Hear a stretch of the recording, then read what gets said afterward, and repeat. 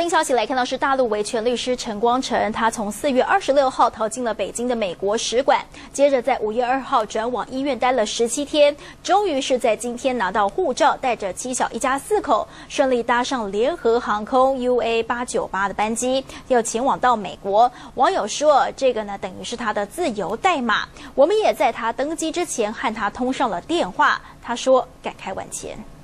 陈光诚登机之前，内心百感交集。呃，感慨万千。感慨万千，为什么呢？怎么说？很多这个，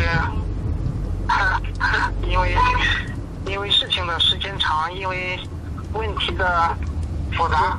你会不会担心以后去了美国就回不来了？这个我倒不太担心。陈光诚在医院待了两个多星期，终于在五月十九号带着妻小离开北京，飞往美国。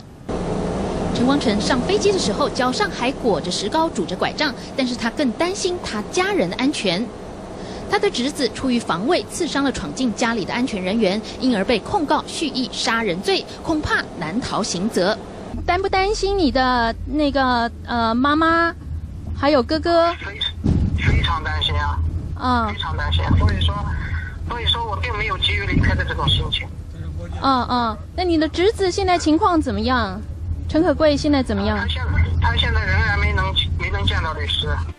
其实美国早已帮他办好了签证，但是他足足等了两个星期，大陆官方才愿意为他办理护照。从星期三拍大头照、填表格到星期六，短短才三天就办好了出国手续，显示大陆官方希望在敏感的六四周年之前让陈光诚出国，以免国际舆论再向中国挑起敏感的人权话题。